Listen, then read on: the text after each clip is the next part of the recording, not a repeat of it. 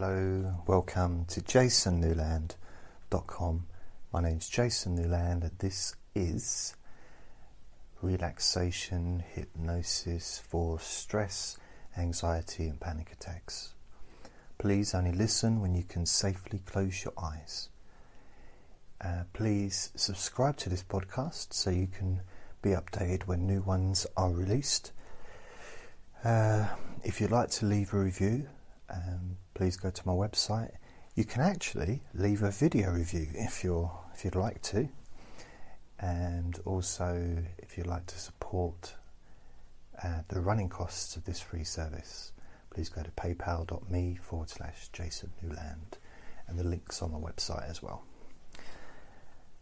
And just as I started recording this, Andre, my little boy, the ferret, runs out of his bag and he gets into a carrier bag. And he's got this new thing where he goes from one carrier bag to another. And he's got four carrier bags spread around the room, different corners. He does it on purpose. He does. He waits. He waits till I start recording, and then he comes out. Anyway, that's just a belief, and it's probably wrong. So I, I wanted to talk about beliefs in this recording, and what beliefs do we have? Do you have? Do I have? That are getting in the way of whether it be recovery or a belief that's getting in the way of you feeling more relaxed. So I'm just going to discuss it, uh, juggle through you know a few ideas around, and that's it really. That's what I'm going to do in this recording. So.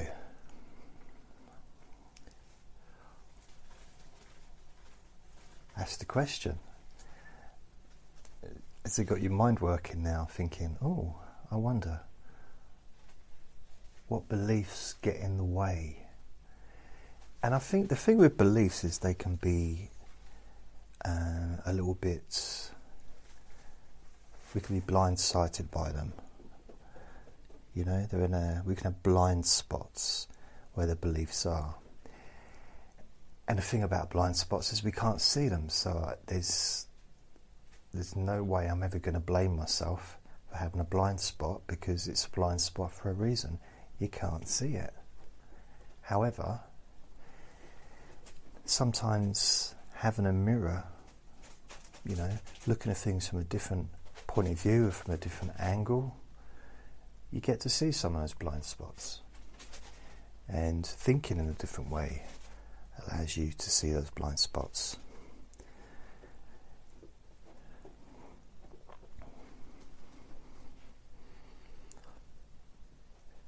So, what's getting in the way of you relaxing?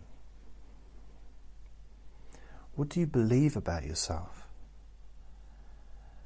That in some ways may there may be lots of evidence that it's true. There may be lots of evidence that it used to be true, but maybe it's not anymore. But you've not re-evaluated it lately. You've not had a little clear out, you know.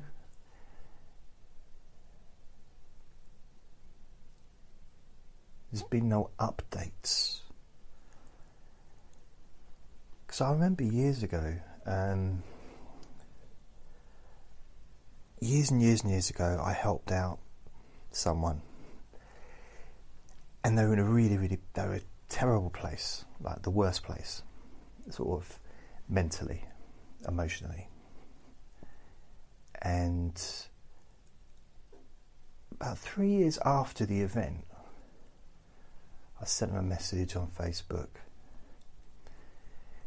And I didn't I didn't mean it to come across as I don't know, I, I said something that didn't I don't know how to word this, but I was talking to her like she was still the same person as she was three years ago. Basically, that was it. And she said, I've moved on from that. I don't have those issues anymore.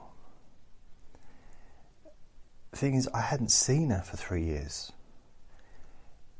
I didn't really know, other than kind of her Facebook pages and posts, I didn't know anything about her life really.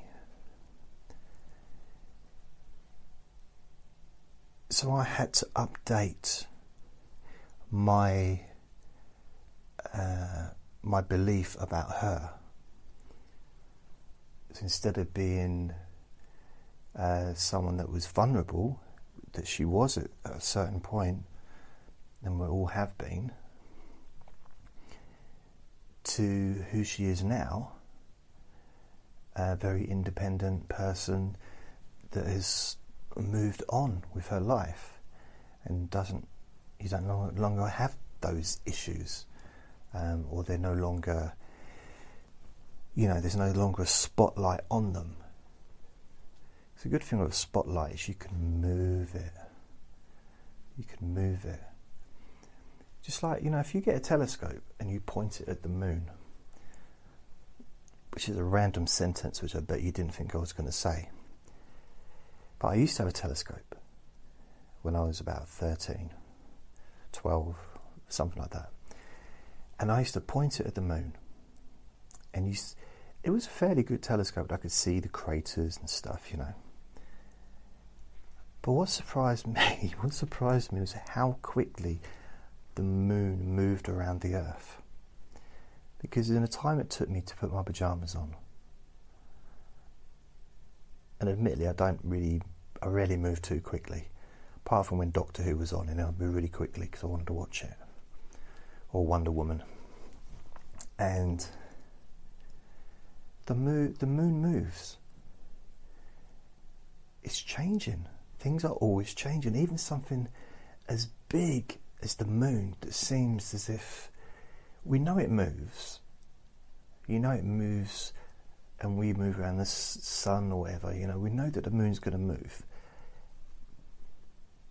But we're not aware of how quickly it actually moves.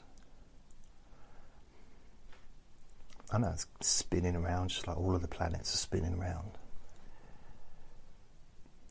So, although I had the spotlight on this thing, huge thing in the sky, bright, it changed. Always changing. I mean, anyone that thinks, oh, some people have that with pride, don't they? I'm never going to change. No man's going to make me change. No woman's going to make me change. I'm going to stay the same forever, like it's some kind of, like it's an option you don't have that option. You have to change. Someone that says, never going to change. I say, okay, in that case, there's a banana. It's on the table. Come back in nine weeks' time and eat that banana. They're not going to want to. Because it's going to be disgusting. You won't be able to eat it in nine weeks' time everything's changing all the time. So why would we expect everything else outside of us to change and not us not to change? It doesn't, doesn't even logically, scientifically, it doesn't make sense, does it? You don't have to be a scientist. It's like everything's changing. That's why we have to redecorate the walls in our house. That's why we have to change the carpet every few years, maybe or change the mattress on the bed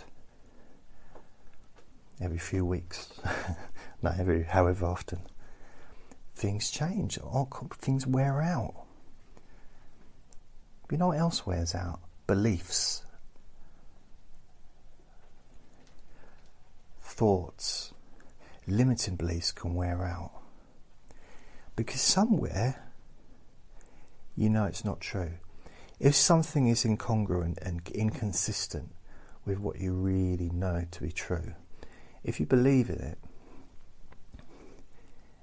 it's it's not going to be stable. It's not going to be a stable belief.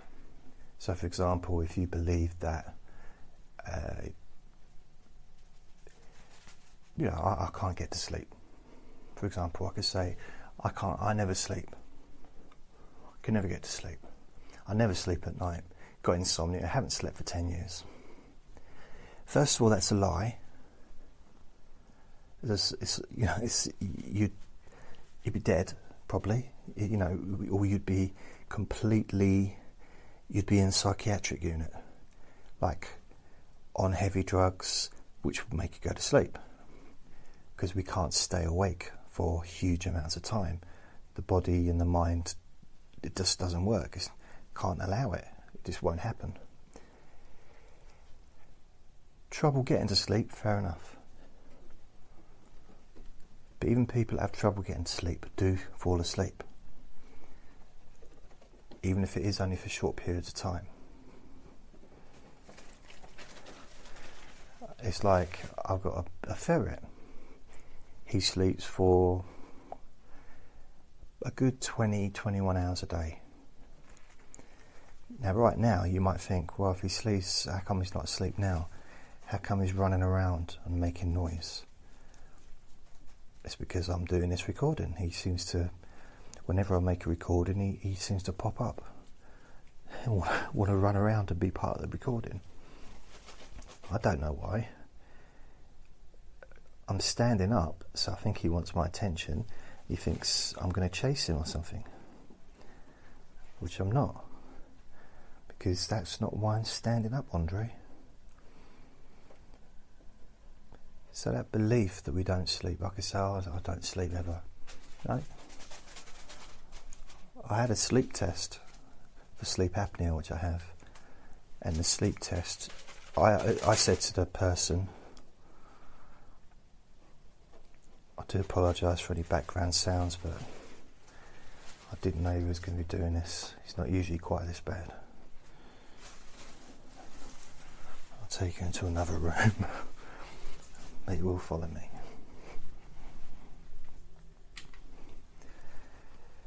So, this sleep test I had, I went to the place in, in the morning, took it in because I had to take it in first thing in the morning, and I said, I didn't sleep at all. They said, How was your sleep? Didn't sleep at all. Didn't get a wink. It turned out I got six hours sleep. So the thing is, we we can only be aware when we're awake. We can't be aware of when we're asleep. I mean, there are times you could be dreaming, kind of be alert. But generally, we don't know when we're asleep. That's why it's called sleeping. He's followed me into the hallway.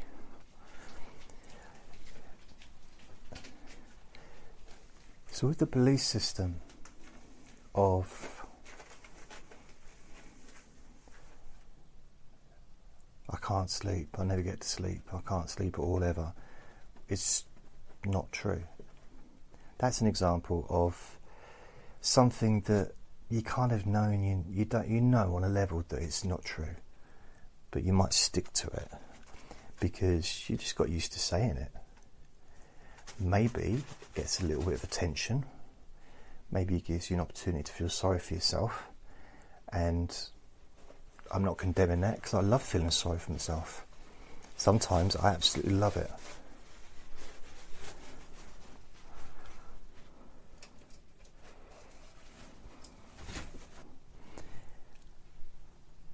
but it's not always necessarily useful.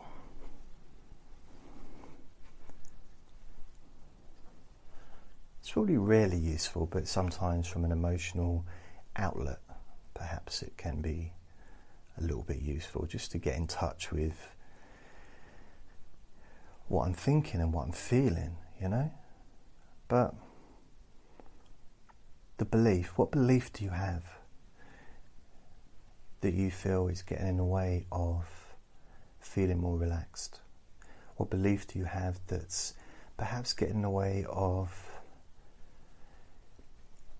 recovery, whatever that is? So, you know, recovery could be no longer having those uh, anxiety attacks no longer, maybe re, re, renaming it, Because ultimately, panic attack and anxiety attack attack is a horrible term, isn't it? Because we're basically saying that we're attacking ourselves. We're at war with ourselves. And we're not.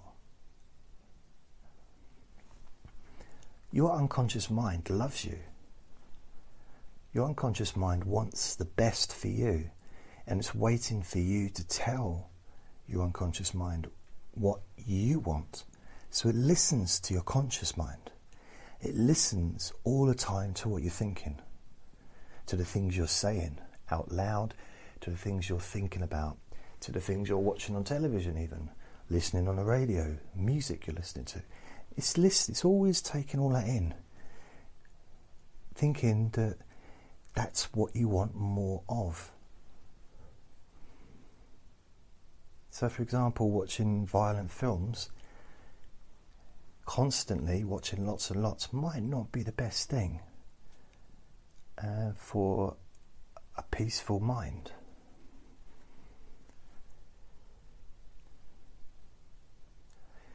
Thinking to yourself that you're no good at something, or that you're useless, or you don't deserve this, and keep thinking like that. You know, if, if someone was to think like that over and over and over again, the unconscious mind absorbs it and takes it as a command. Because the way hypnosis works is the hypnotist gets you all relaxed, you know, and you kind of you go into like a trancy kind of state of mind where you're very suggestible, very susceptible to what the the hypnotist is saying to you.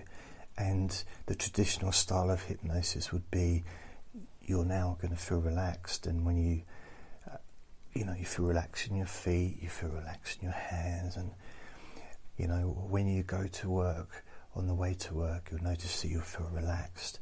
Just sitting on a train, seeing that seat, and you're sitting down in a train, and the feeling of sitting on that seat actually relaxes your body and your mind as you visualize getting to work and then sitting down in your chair at work or maybe taking your coat off, having a cup of coffee, and that sense of comfort that you feel connected with that. So there's a lot of positive suge- suggestions over and over in a hypnotic uh, induction or hypnotic session so that your unconscious mind hears it. Your conscious mind is always, also hearing it, but it's boring to the conscious mind. It's monotonous. Repetition is monotony. Feeling relaxed in your little finger on your left hand feeling relaxed in your little finger on your right hand, noticing the feeling in your left eyebrow. Maybe you can raise the eyebrow and notice the relaxed feeling that you experience. And going on and on and on, that is boring. And then moving into, you're going to feel this way at this time. You're going to have more of those experiences. And talking directly to your unconscious mind and saying, please,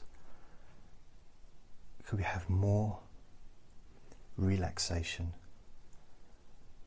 more of a sense of purpose and a sense of feeling calm and realizing that you're a great person and you deserve to be happy. You deserve to be relaxed. And getting in touch with that feeling and asking your unconscious mind now to give you more of those feelings of comfort, not just in all the parts of your body, but also in your mind, giving you that feeling that you have that you would experience in your safe space wherever that might be. It might be in your bedroom, It could be sitting on a beach. It could be in the garden. It could be it could be on holiday. It could be in your greenhouse, your shed. It could be in your mind. That safe space where everything is calm. We all have that in us. We all have that space, whether it's external or internal. A safe space. And to be able to experience that more and more naturally without without wanting it or needing it, but just experiencing it and appreciating it. And the more you experience it, the more you expect to experience it. So, the more calmness and relaxation you experience, the more likely you're going to experience those feelings of calmness and relaxation in your mind and your body because you're starting to expect it. It's the natural order of things. We expect what's already come before. And the more we expect something, the more likely it will come. Because you're sending that message to your unconscious mind that's what I want. I like that. I'd like more of that, please. It's almost like going to a takeaway, you know, drive through and just ordering what you want. You order it. You might not get it straight away. You know, you might pay your money and you drive through to the next window. There might be a few minutes to wait. But eventually your order comes through. Sometimes I might say, well, would you like to, you know, we're busy, do you want to go and park up and we'll bring it over to you? So you park up, maybe you wait five, six, seven minutes. And then someone comes over and brings your takeaway over to you, to your car. It's kind of like that. You ask for what you want, but you're not asking another person. So there's no way you're ever going to get turned down. No rejection is possible in this scenario. You're asking yourself, you're asking your unconscious mind what you want, what you need, what you require, what you would like more of. You can do it directly or you can do it indirectly. And an indirect way is by thinking more about what you would like, thinking more about how you would like to feel more relaxed, focusing on those feelings of comfort that you experience, expecting to experience more of those feelings of looseness and calmness in your body and in your mind. When you expect it, it's more likely to happen. And course, unconsciously, you can just ask yourself directly. You can just say, please, I'd like to have more comfort. I'd like to feel more relaxed. Sit down in a chair, lay down on your bed, and just say, I'd like my body now to feel more relaxed and my mind to slow down. Doesn't mean it's going to happen instantly. But if that's all you focus on, you ask your unconscious mind, please relax my body. And you have 100% belief that your body will relax. That's what's going to happen. what else could happen? Because if that's all you're focusing on, and you're not trying to force it, because you can't force it, it's impossible. You can't, you can't force going to sleep, you can't force relaxation, you can't force yourself to be in love with someone, you can't force yourself to like a Marmite sandwich if you don't like Marmite. You know, you can't. There are ways to manipulate your taste buds and stuff, but generally these things cannot be forced because it's the opposite to what you need. Relaxation requires relaxation. It requires openness to have and to receive that sense of calmness spreading throughout your body. And that belief changes other beliefs. You start to think, right, so I, I used to believe that perhaps I was a stressy person. That's what I used to believe. I mean, going around my life telling people, oh, I'm a stressy person, uptight, blah, blah, all that stuff. And now you realise that it's not true. Maybe you've always known that it's not true. It's just been a. You've been busy. And it's been one of the little blind spots that we all have. But now you see it. Once you see it, you can't ignore it.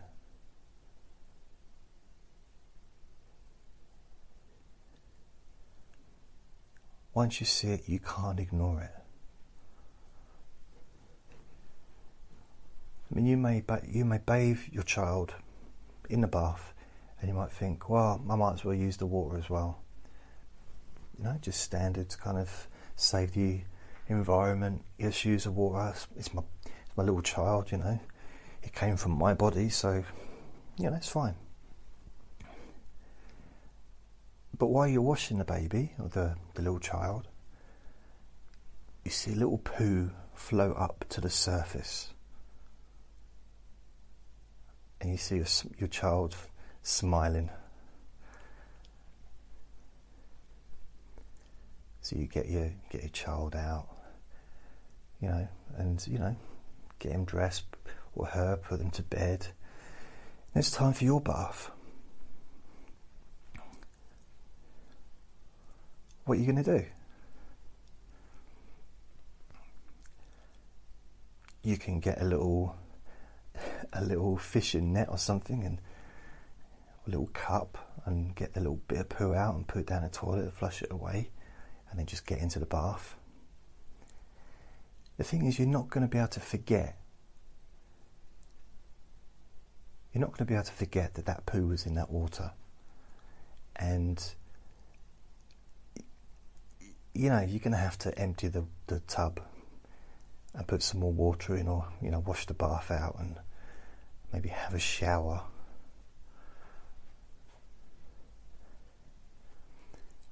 And that's what it's like when once you see a blind spot, it can't unsee it.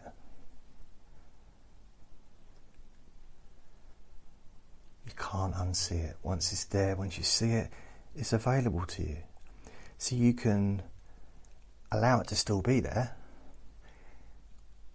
or you can remove it, remove that blind spot, and that would be the big bit of poo or the little bit of poo floating around happily in the bathtub, looking at you saying, Hey, why don't you come and have a bath with me? And you're going to think, I like you as a friend, but no. And you're going to f- get rid of it. So once you know that actually you've got that that old belief system that you're you know you was a stressy person or that you weren't able to relax or you know it's all these other things that are, are limiting and we're focusing on stuff to related to relaxation in this recording so there's loads of other stuff that we've all got that we can all work on. You know, it's a life, it's a life's work, isn't it? Let's face it.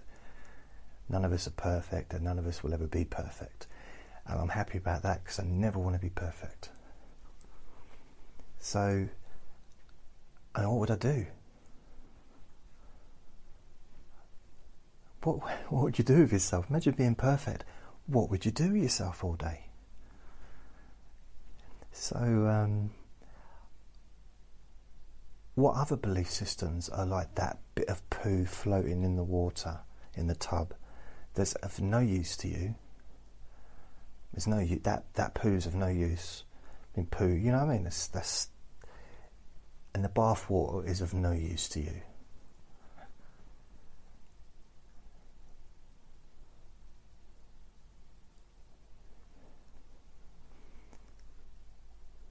So you have to empty the bath water, get rid of the poo, and give that bath a bit of a clean, I'd say, and just wait until your memory fades a little bit about that that experience possibly.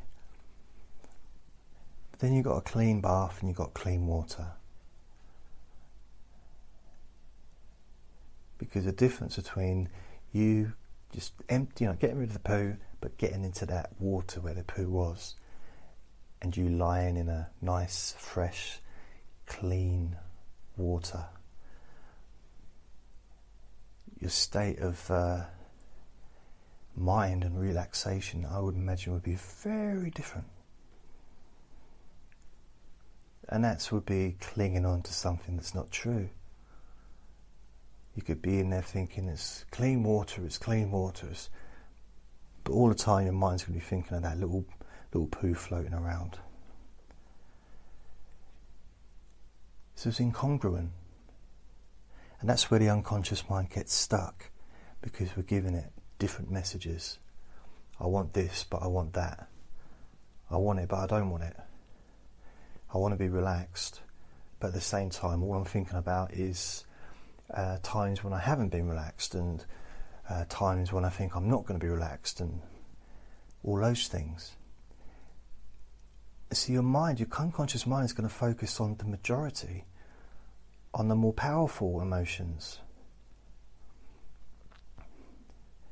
which means the energy we put into wanting and expecting and needing to be relaxed more often in our body and our minds. The energy surrounding those emotions, those thoughts, require more strength, more focus, more often. So, for example, if someone's thinking about uh, going to work, let's say it's a weekend, they're thinking about Monday, going to work Monday, and they're thinking, if they're thinking 300 times during the weekend about how they're dreading going to work, or how they're expecting it to be rubbish and crap and stressful,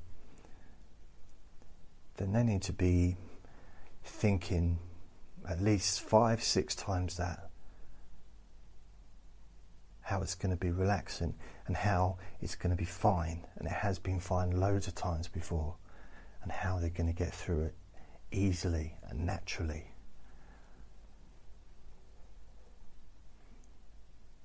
The balance needs to change on those scales between negativity and positivity, positive thinking and negative thinking. For you, it's not about having positive thinking for anybody else. And it's not about false positive thinking.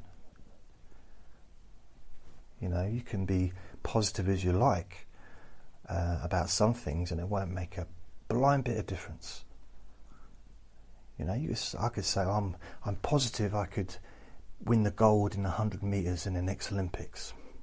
I can be positive as long as much as I want. I could meditate on it, hypnotize myself, 14 hours a day until the Olympics. I could train every day. It wouldn't matter what I did.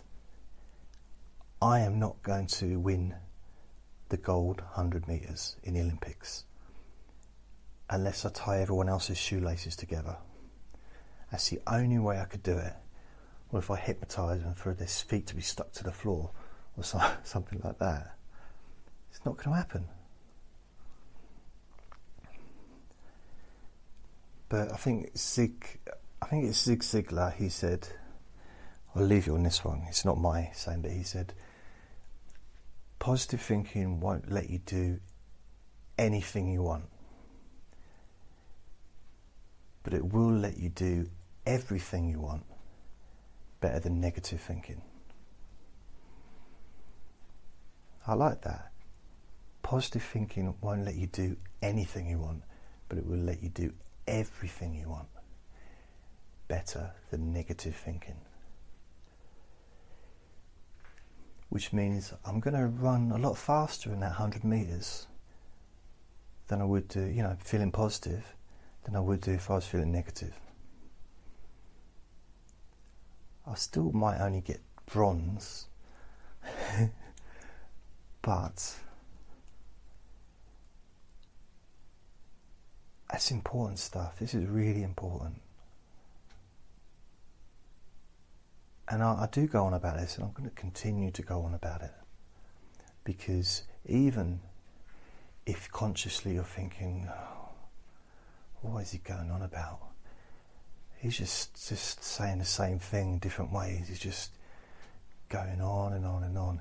Your unconscious mind is taking this in because it's all positive. And you start to learn differently. You start to think about it. Guaranteed, regardless of what you think about this recording, and you might think, oh, none of it's making any any difference listening to me. Well, if you you might think that way, unlikely if you're listening, but you know, if someone might do. Well, my question is this.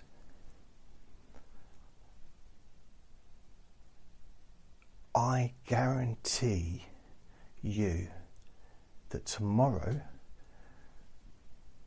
or if you listen to this in the morning, then today, if you're listening to this at night, then tomorrow, at some point during the day, you will think about that poo in the bath bobbing up and down.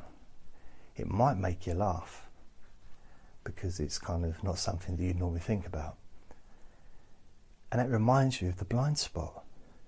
The blind spot, which has been that part of you that's saying to yourself, Oh, I can't relax, I'm always going to be like this, I'm, I'm a stressful person, oh, I don't have any choice in what I do. Eh. All the stuff that we say to ourselves. And all the blind spots are kind of connected to each other. So you take one out, you could take the whole lot out, or you could at least diminish them slightly.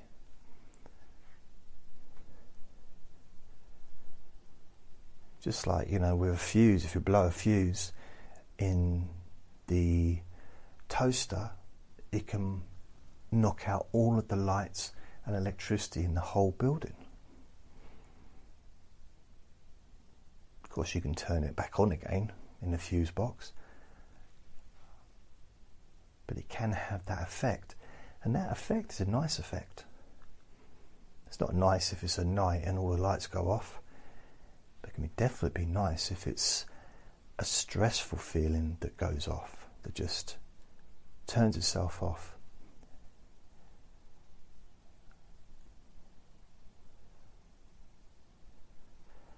So just remember that. Positivity cannot get you anything that you want, but it can get you. what is it? I can't. Can't. I can't. It can't make you. Can't help you do anything, but it can help you do everything better than negative thinking works better if you remember the words, doesn't it? So I'm going to leave you on that, and I wish you a lovely, relaxing day. And this stuff is absorbed. It, it gets in. It gets in there, and in some ways, the more boring it is, the more it gets in there, and the repetitiveness of it helps it slide in a little bit easier. You know, when you're talking to someone and see, I was going to go, but I'm still talking. You're talking to someone and, well, someone's talking to you and they're going on and on. well, you know because you're listening to me. But someone might be just really talkative eventually you turn off, don't you? You stop listening. That stuff's still going in. So be careful who you do that with because if they're a negative person, they may be chucking all that negativity at you. And because they're boring you so much, or because you just switched off because it's an overload, which often it can be with that stuff, not so much it's boring, it's just too much. I know someone like that. They're not a boring person, but they overload me with information, uh, stuff that I've got no interest in, and it's bombardment. And I feel like I'm starting to switch off, you know. So it's best to keep away, perhaps, or sometimes step back if you need it. And that should be another recording I make about people, other people, and what effect they have. Yeah, maybe I'll do that tomorrow. And maybe, maybe the effect we have on them. So thank you for listening. I really will go this time. I feel a bit like you know when you you, you hear people on TV, you know kids and stuff saying they're in love, say, "You hang up." No, you hang up. No, you hang up first. I feel like I'm doing that, but I'm definitely going to go. Remember to be kind to yourself because you do deserve to be happy. And over the next day, between now and the next recording, do something nice for yourself. Doesn't matter what it is. Buy yourself an ice cream. If you can afford it, go and have a massage. Go and, you know, go for a swim. Watch a movie. Phone up someone that you enjoy talking to. Have a, a, a bath. Make sure it's a nice, clean, clean one. Whatever it is. Go and visit your grandmother and give her a big cuddle. Whatever. Just do something that's going to give you pleasure. So I'll speak to you next time. Lots of love. Bye.